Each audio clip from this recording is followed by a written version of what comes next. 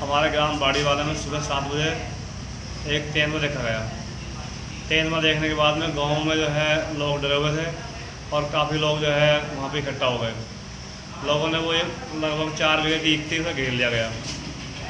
लोग चाहते थे, आसपास के गाँव के लोग वहाँ इकट्ठा हो गए थे, जैसे कि बाड़ी वाला लाडरा बुंदरा डाबर हेड नंगला वगैरह के लोग वहाँ आए हुए थे।